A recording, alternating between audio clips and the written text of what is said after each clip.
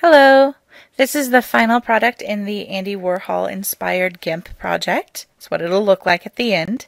To begin with, we're going to start with a new letter size document. So File New, drop down to letter size because we're printing on letter size paper.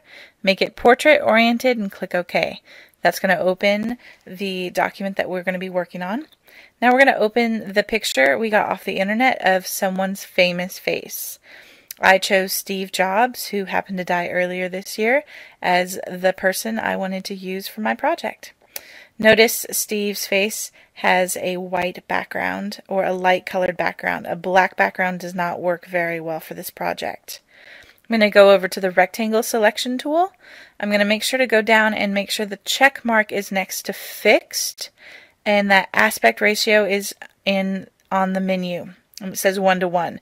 This is going to give us a square pretty much. So make sure that's checked the whole project. I'm going to draw the square over Steve Jobs' face. I'm going to make sure to give it a little room above the hair. So you have some space up there. You're going to go right under the chin of the person. Try not to go off the sides of the picture. If you cannot make a square that fits, you're going to have to find another picture. Now go to edit copy. We're going to copy this picture. Go to our letter size document and edit paste that picture in. Now remember it's going to be a floating selection so you need to click add new layer in order to paste that selection down. Alright, so you want to make sure you paste that down otherwise it's going to get attached to the background and that's not good at all. We're going to come over and grab the scale tool. You're going to click on the face. Make sure the chain is linked in between the width and the height. For this project, you're going to type 2.25, um, make sure it's inches, into that and click scale and it'll make a 2.25 by 2.25 square. I'm going to grab the move tool. I'm going to move my face up to the left hand corner. I want it about an inch from the top and about a quarter inch or 0.25 inches from the left hand side.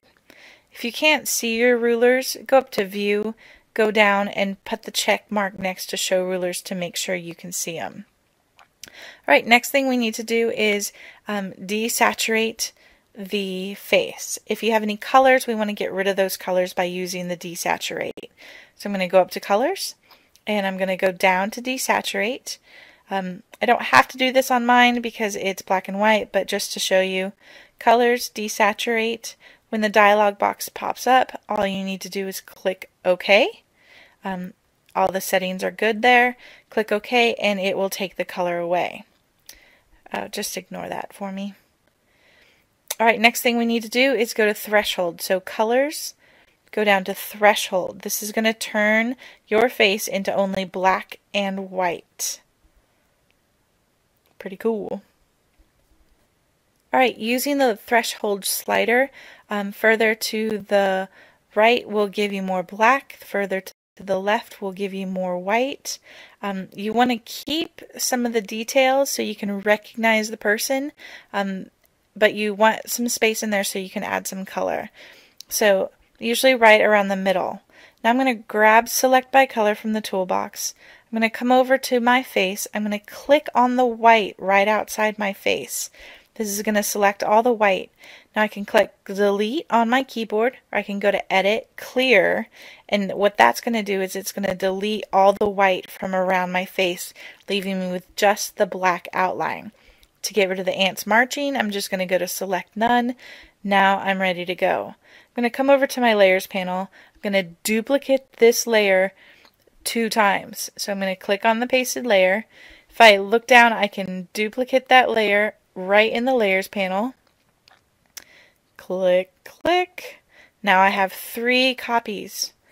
What I'm going to do is I'm going to grab the move tool, click on the black part of the person so you don't move your background, and drag one over around the middle. We can move it in just a minute.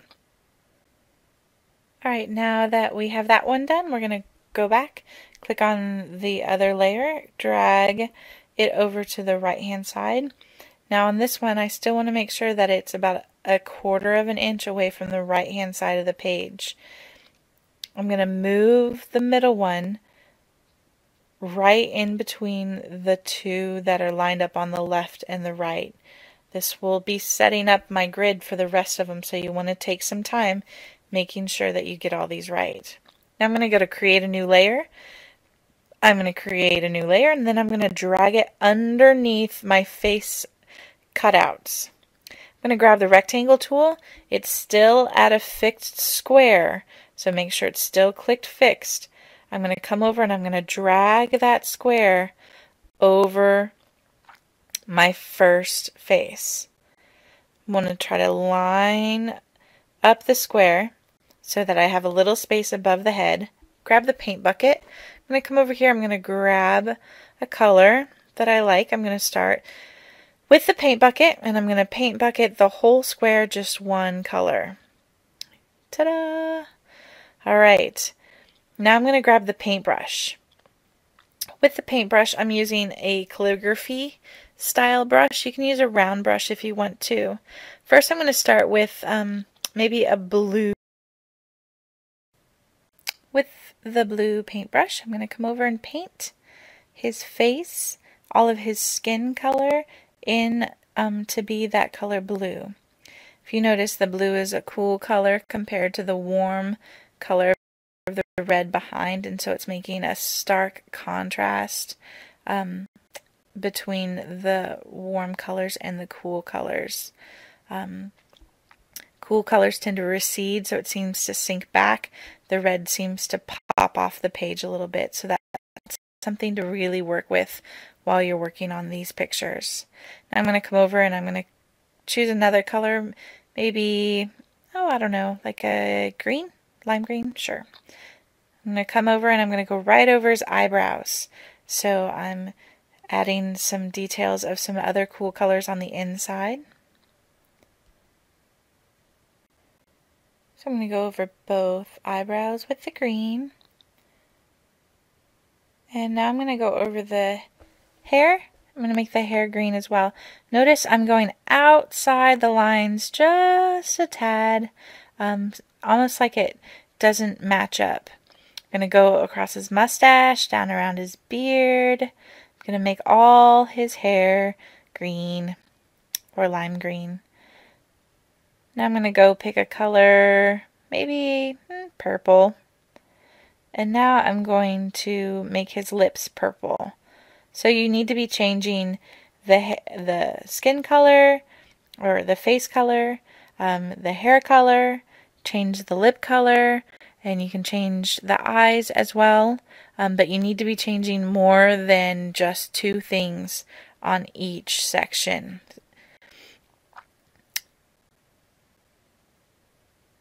All right, you'll continue doing the same thing across all three top layers by adding new layers for each. You want each color scheme to be on a new layer. So you'll continue by creating new layers and putting each color scheme um, underneath the face layers and making each one on its own new layer. Um, but I'll let you do those on your own. I'm not going to show you go through each one. What you need to do now, though, is we need to make multiples of the faces. So click on the layers that we made of all three faces and duplicate one of each of those layers. Now you're going to link using the chain link the new three layers you just made. Grab the move tool, click on the black part of one of the faces, and you're going to move those down. Since you've chain linked those new duplicated layers together, you're going to be able to move all three at the same time, maintaining the distance between them. Pull them down about a quarter inch below the first row. Now you're going to do it one more time. You're going to click on the layer that you just duplicated. So you're going to duplicate the top layer, go down to the one that was linked before. Oh, I did one too many, sorry. Click on the other linked layer, add a duplicate layer, scroll down a bit on your layers panel, grab the one you just did, duplicate that. Now you only need three of them linked together, so unlink the original three you just pulled down. go grab the move tool and drag the black part and this is going to drag three more of them down. Okay, they're the same distance apart. Again, these should be about a quarter inch below the ones in the top.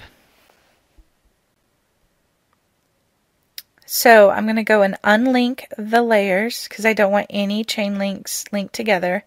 Um, it's not necessary. Scroll all the way to the bottom of your layers panel. Click on a layer that had a color scheme on it so it's below everything else. Um, and now I can go and start adding color schemes to the rest of my boxes. I'm going to grab the rectangle tool, which is actually a square tool right now. Draw a square. And I want to make sure that the squares are about the same size as the ones from the top row. Um, you want to try to make it look consistent. Okay, make sure there's a little space above the head. Grab the bucket tool, choose a different color, use the bucket fill to fill that square. Um, think about your color schemes too. If you have a warm color, do you want maybe a cool color next to it? Um, how do you want to line up your color combinations in your composition?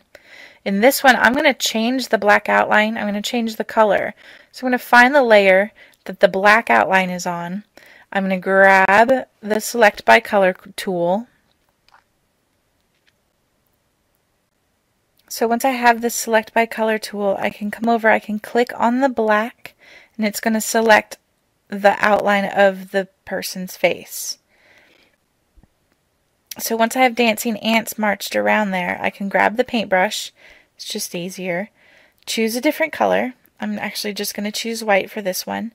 And then with the paintbrush, if I just start painting, um, it's only going to paint inside those black outlines, inside that selection that I've chosen. Um, so that works a little bit better than trying to bucket fill it. So just paint over it.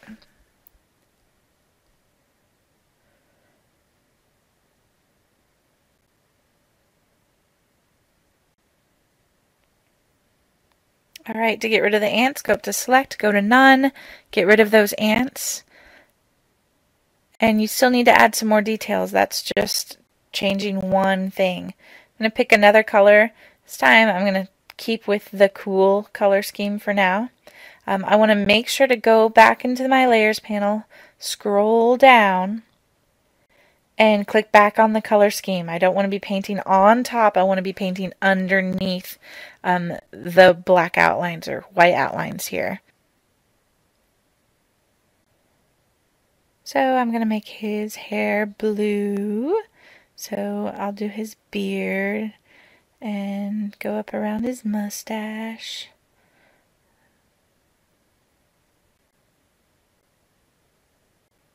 Go around his hair.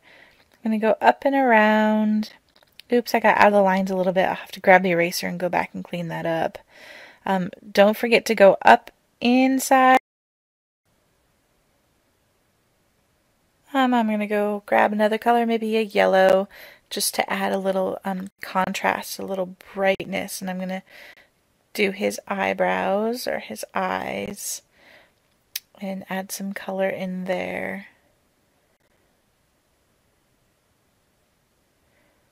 I'm going to add his finger back gold. I like the idea of putting his finger gold. So I'm going to use my eraser tool. I'm going to go back and I'm going to clean up that top edge where I went outside the square. Um, I want to make sure that each of these look pristine.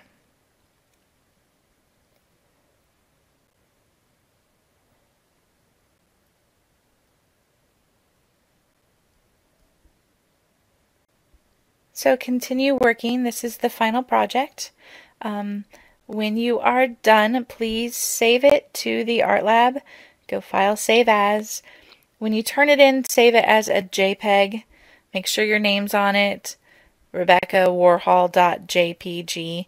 While you're working on it, please just save it as warhol.xcf. Do not save it to a JPEG until you are completely finished with it. Otherwise, you will lose all your layers and you will not be able to paint behind your faces. Please continue working adding new layers underneath all the faces and make sure that you are thinking about color schemes. If you notice on mine, I've got some that are warm colors, some that are all cool colors, some that have a mixture of complementary colors like blue and orange. That one looks completely different than the paler, more uh, monochromatic tones that I've used in the lower gold one um, or yellowish one. So really think about how you can use color to make each of these squares look different. Have fun with it. It should be a good time. All right, take it easy, guys.